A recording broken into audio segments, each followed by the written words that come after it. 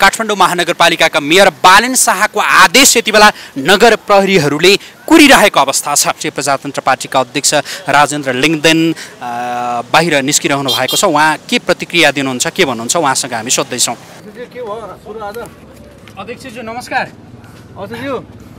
माथि झ्यालबाट राष्ट्रिय प्रजातन्त्र पार्टीका महामन्त्री धवल शमशेर जबरा हेर्दै हुनुहुन्थ्यो। यदि भत्काइकन काठमाडौँलाई झन् सुन्दर बनाउने हो भनेदेखि त्यो काममा त सबैभन्दा पहिला दर्शकवृन्द नमस्कार। राष्ट्रिय प्रजातन्त्र पार्टीको धुम्बारा स्थित पार्टी कार्यालय सोमबार भित्रमा हटाउनका लागि काठमाडौँ महानगरपालिकाले दिएको जो अल्टिमेटम हो त्यो अल्टिमेटम सकिँदै गर्दा यति बेला हामी काठमाडौँ महानगरपालिकाको पाँच नम्बर वडा कार्यालय अगाडि आइपुगेका छौँ।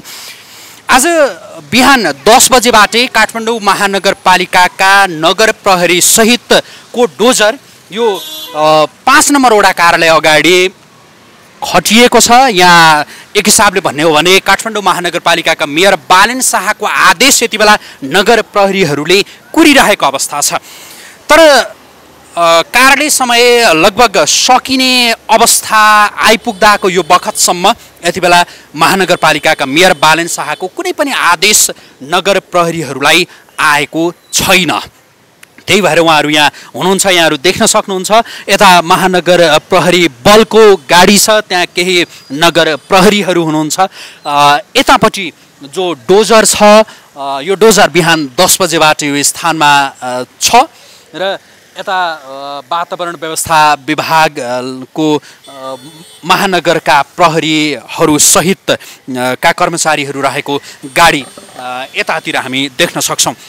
काठमाडौँ महानगरपालिका वडा नम्बर पाँचको कार्यालय अगाडि आज बिहान दस बजे हाराहारीबाट यसरी नगर प्रहरीहरू डोजरसहित यहाँ आउनु भएको छ। यहाँबाट धुम्बारा स्थित पार्टी कार्यालय पुग्न त्यति धेरै समय लाग्दैन। पैदल हिँडेरै अगाडि बढ्दा पनि यहाँका स्थानीयहरूले हामीलाई बताएअनुसार करिब दस मिनटको पैदल यात्रापछि त्यहाँ पुग्न सकिन्छ। हामीले त्यहाँको रिपोर्टिङ पनि आज बिहान गरेका थियौँ। र नगर प्रहरीहरू जो भित्र यहाँहरू देख्न सक्नुहुन्छ खाजा खाइरहनु भएको छ यहाँभित्र हुनुहुन्छ उहाँहरू हामी यहाँका यी दृश्यहरू यहाँहरूलाई प्रस्तुत गरिरहँदा अब यो काठमाडौँ पाँच नम्बर वडा कार्यालयको गेटतर्फ हामी लाग्दैछौँ। त्यहाँभित्र नगर प्रहरीहरू बिहानैदेखि जो खटिनु भएको थियो सम्भवतः उहाँहरू जुन राष्ट्रिय प्रजातन्त्र पार्टीको पार्टी कार्यालय हो त्यो पार्टी कार्यालयमा त्यहाँको सुरक्षा त्यहाँ डोजर लिएर त्यहाँ जानका लागि र त्यहाँको अ, अवस्थालाई आफ्नो नियन्त्रणमा राख्नका लागि उहाँहरू खटिनु भएको तर महानगरपालिकाका मेयर बालेन शाह हामीले प्राप्त गरेको सूचना अनुसार जिल्ला प्रशासन कार्यालय काठमाडौँका प्रमुख जिल्ला अधिकारीसँगको त्यो संवादमा उहाँ रहनु भएको र त्यहाँ संवाद चलिरहेको भन्ने बुझिएको छ। अ, दर्शकवृन्द यति बेला हामी पाँच नम्बर वडा कार्यालय अगाडि आइपुगेका छौँ। र हामी यहाँहरूलाई जानकारी गराउँ कि काठमाडौँ महानगरपालिकामा यता राष्ट्रिय प्रजातन्त्र पार्टीका मुख्य सचिव केदार बहादुर अधिकारी सहितका नेताहरूले त्यहाँ गएर एउटा निवेदन दिनुभएको बुझिएको छ। जुन कार्यालय हटाउनका लागि कार्यालय सार्नका लागि कानुनले दिने जुन प्रकारको हदम्याद हो त्यो हदम्याद दिनका लागि र आफूहरू कार्यालय सार्नका लागि तयार रहेको उहाँहरूले बताउनु भएको त्यो निवेदनमा उल्लेख गर्नुभएको भन्ने कुराको जानकारी हामीले प्राप्त गरेका छौँ। र सँगसँगै राष्ट्रिय प्रजातन्त्र पार्टीले निवेदन उता गृह मन्त्रालयमा त्यसै गरी प्रहरीकोमा पनि त्यो निवेदन बुझाएको भन्ने खबर हामीले प्राप्त गरेका छौँ। दर्शकवृन्द काठमाडौँ महानगरपालिकाले जुन जुन स्थानमा अल्टिमेटम दिने गर्थ्यो अधिकांश अल्टिमेटम दिएका स्थानका भौतिक संरचनाहरू भत्काउने गरेको पाइएको थियो। यसभन्दा अगाडि अ, घट्टेकुलोमा रहेको भद्रकुमारी सेवा घले सेवा सदन अ, को कुरा होस् या बानेश्वर लगायतका अन्य स्थानमा भत्काइएका भौतिक संरचनाहरूको कुरा होस् तर राष्ट्रिय प्रजातन्त्र पार्टीको जुन पार्टी कार्यालय हो त्यो पार्टी कार्यालय जसमाथि पार्टी कार्यालयको भवनमाथि हाइटेन्सन लाइन रहेको छ त्यो लाइन हाइटेन्सन लाइन मुनि कुनै पनि भवन बनाउन या त्यसमा रहन नपाउने भन्ने जो प्रावधान हो मानवीय सुरक्षाका हिसाबले पनि त्यस कारणले त्यहाँ पा बाट पार्टी कार्यालय हटाउनका लागि पार्टी कार्यालय सार्नका लागि र त्यसका लागि सोमबारभित्र सार्नु अन्यथा महानगरपालिकाले आफ्नो हिसाबले त्यो निर्णय गर्छ भनेर महानगरपालिकाले त्यहाँ माइकिङ गरेको थियो। तर पार्टी कार्यालय न त राष्ट्रिय प्रजातन्त्र पार्टीले सारेको स्थिति छ न त महानगरपालिकाले नै त्यो पार्टी कार्यालय सार्नका लागि उसले बल प्रयोग गरेको स्थिति छ एउटा पार्टी कार्यालय अ, भवन सार्नका लागि भनेर महानगरपालिकाले हाइटेन्सन लाइनलाई अ, जुन देखाएर हाइटेन्सन लाइनका कारणले यो पार्टी कार्यालय सार्नुपर्छ भनेर उसले जे भनेको यसलाई पार्टी कार्यालयले मान्नु पर्थ्यो भन्नेहरू पनि एकातिर छन् अनि अर्कातिर पार्टी कार्यालयले जुन मौखिक एउटा निर्देशनको भरमा भनौँ मौखिक एउटा आग्रहको भरमा मौखिक एउटा जानकारीको भरमा राष्ट्रिय प्रजातन्त्र पार्टीले किन मान्ने त्यो पार्टी कार्यालयलाई राष्ट्रिय प्रजातन्त्र पार्टीको जुन आधिकारिक निकाय हो पदाधिकारीहरू या भनौँ राष्ट्रिय प्रजातन्त्र पार्टीलाई सम्बोधन गरेर महानगरपालिकाले पत्र लेख्नु पर्थ्यो पत्र लेखेन भन्नेहरू पनि अर्कातिर छन्।